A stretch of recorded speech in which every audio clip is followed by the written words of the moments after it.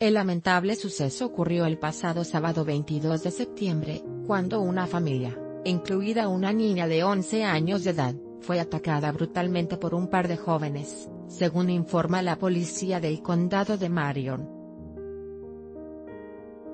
La grabación ocurrió en el estacionamiento de una gasolinera, ubicada en 15877 East Highway 40 en Silver Springs, al norte de Orlando, y en las imágenes se observa dos sujetos que más tarde fueron identificados como Brandon Clanton y Julian Apiotek, ambos de 18 años de edad.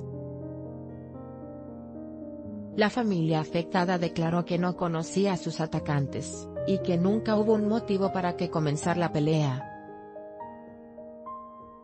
La joven fue acusada de agresión agravada a un infante, y el joven fue acusado de agresión a un oficial. Aquí te dejamos el impactante video del momento de la brutal golpiza a la familia.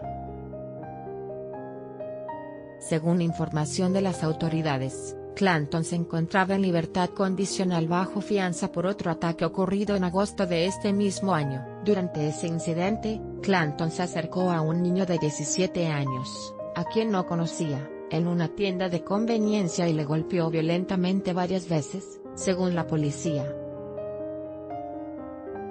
El adolescente necesitó siete puntos de sutura en su cara debido al ataque no provocado. Usuarios de las redes mostraron su indignación ante este hecho, y aseguran que los agresores deben pagar con todo el peso de la ley.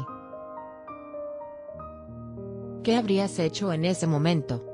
Con información de Telemundo 51 y Univision anímate a comentar. Queremos saber tu opinión.